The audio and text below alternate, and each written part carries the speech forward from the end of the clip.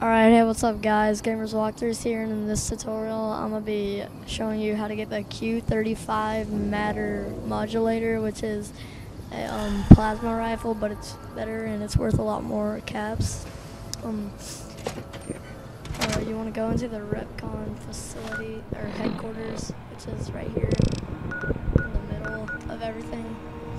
It's like by Cassidy Caravans, Followers Outpost, all this. And then you just want to go inside and you'll see some things and you get stuff from them. Open the store.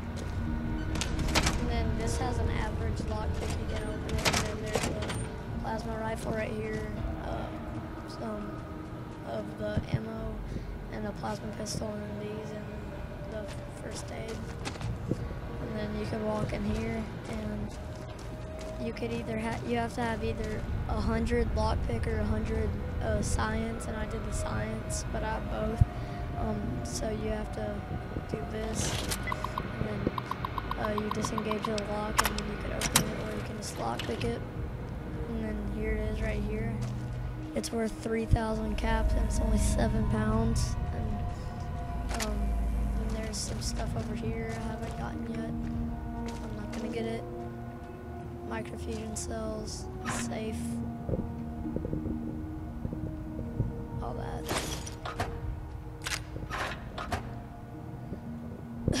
um, and then, um, I'm about to show you like the stuff that the um, gun can do, like everything about it.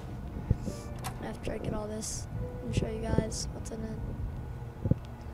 Okay, so gun. Let me go to it.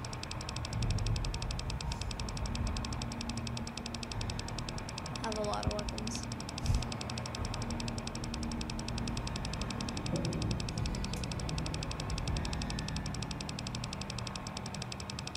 Oops.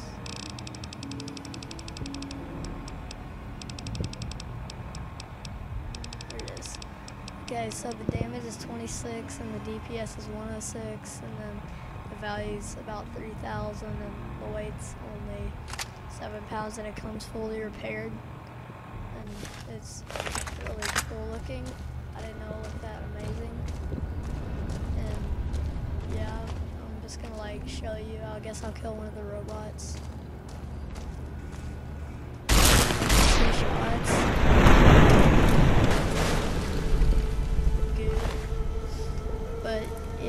Thanks for watching. Please, uh, please like this video, comment, and subscribe, and peace out.